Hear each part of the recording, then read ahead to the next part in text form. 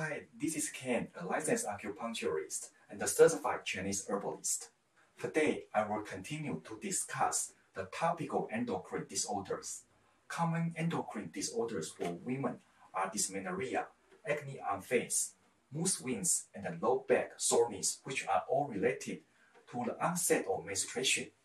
We will discuss these health problems from perspective of Chinese medicine and Western medicine as well as how to maintain endocrine functions to improve the facial skin tone.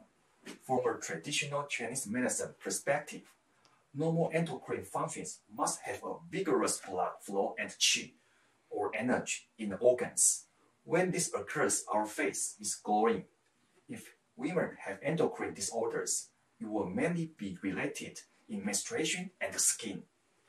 When women has weak qi and blood, and or have poor circulation due to improper diet and daily life choices. It may cause qi stagnation and blood stasis that impact physical and mental functions, so they often experience sub-health symptoms before menstruation, such as mood swings, acne on face, abdominal bloating, and fatigue, etc. Women before menstruation have bodies that are in a state of stagnation at this point, the woman's body holds great amount of qi and blood, but there's no place to release qi and blood.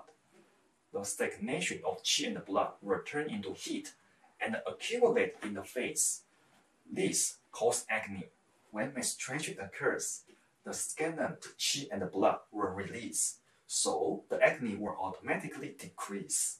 On the other hand, if the qi stagnation and blood stasis is severe, the stagnant qi and blood cannot be released during menstruation, then there will be severe dysmenorrhea in the lower region of abdomen. From a Western medicine perspective, a woman's ovaries mainly secrete two hormones. One is estrogen, and the other is progesterone during the menstrual cycle.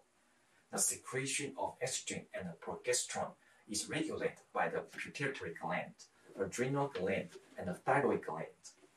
When the level of estrogen is normal, it will help regulate sebaceous gland secretion and reduce oil. The week before menstruation, women's estrogen level will decrease, while progesterone and male hormone testosterone in the body will relatively increase.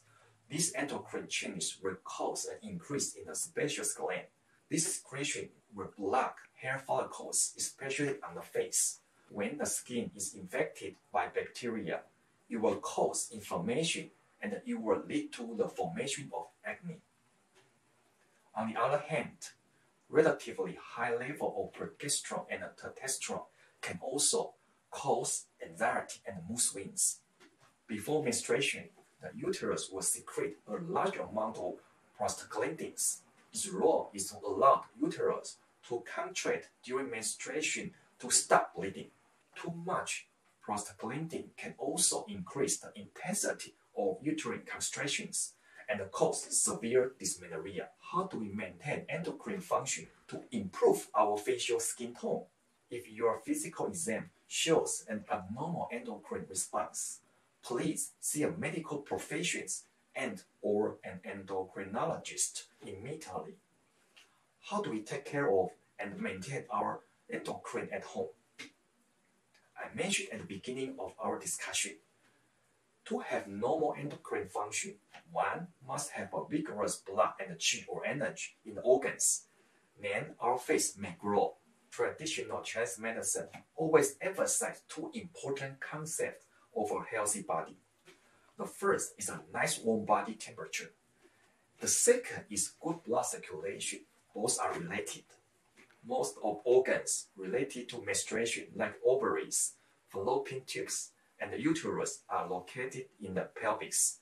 A cold sensation in the pelvis indicates poor blood circulation. It is also called cold womb or gonghan in traditional Chinese medicine. Cold womb or gonghan refers to insufficient qi and blood circulation in the reproductive organs. So, the functions of organs will also be affected and cause endocrine disorders. Women with endocrine disorders usually have a cold feeling in the lower abdomen and hip area, acne on face, and mood swings. Therefore, to maintain and regulate the endocrine system, we must focus on these two important concepts, especially good blood circulation in the pelvis. Warming the pelvis that is cold is an essential treatment for improving fertility and pregnancy. What can we do? First, avoid consumption of ice drinks, cold and raw food a week before your period. Second, keep the lower abdomen and hip warm. Avoid sitting on a cold floor. If the endocrine disorders are caused by thyroid dysfunction, you can watch my previous video to take care of your thyroid. Now, I would like to introduce you a unique form of movement. These movements are called endocrine exercise. You can do it yourself at home to help balance endocrine functions. This unique exercise is created by my teacher, Mr. Gu, as you know from my previous videos. Mr. Gu integrates traditional Chinese medicine, Taoist energy art, and the Western anatomy to develop it. This exercise not only reduces stiff hip muscles, but also can make the body and especially the pelvis warm in a very short time. It can promote blood circulation around pituitary gland, adrenal gland, and hip area. A nice warm body temperature means good blood circulation. There are five basic moves for this endocrine exercise. Please follow my instruction. The first move make a fist and put it on the area below the spinal process of the fourth lumbar vertebra at highest point of the iliac crest, which is at the fourth lumbar vertebra. Push the fist against this spot.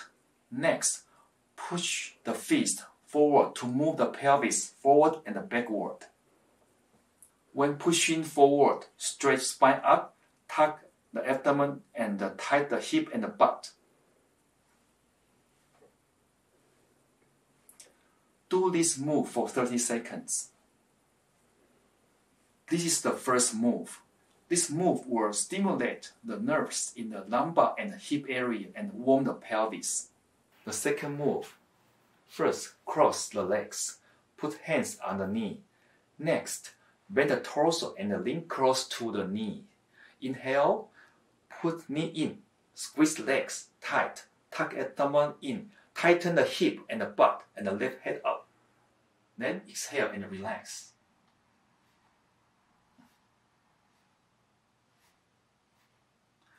After 30 seconds, repeat with the other leg.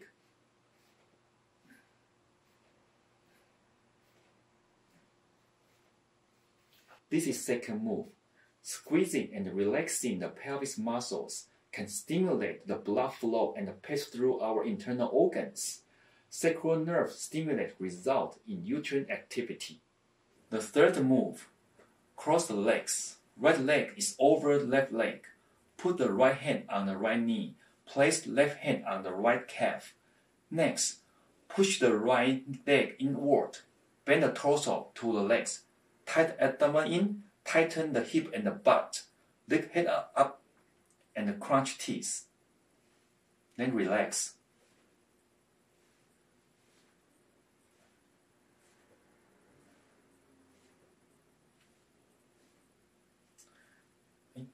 Do this move for 30 seconds. After 30 seconds, repeat the other leg. Do this move for 30 seconds. This is the third move. This move also stimulates sacral nerve. This promotes the circulation in the internal organs. It is also stimulate the nerves between the brain and the pelvis. The fourth move. First, extend both arms forward as far as possible, palm facing out. Put knees together, hold for 10 seconds. 1, 2, 3, 4, 5, 6, 7, 8, 9, 10. Then alternate, extend left and right arms forward and the palms facing out. Hold each hands and the palm facing out for 3 to 5 seconds. In the meantime, press your knee together and tuck an abdomen. Do this move for 30 seconds. This is the fourth move. This move will stimulate blood circulation to the adrenal gland. The fifth move. Put both knee and feet together. Next, we will move the right and the left hip and alternate right and the knee to go forward and backward. Keep back straight. Tuck abdomen in and lift your head up. Do this move for 30 seconds.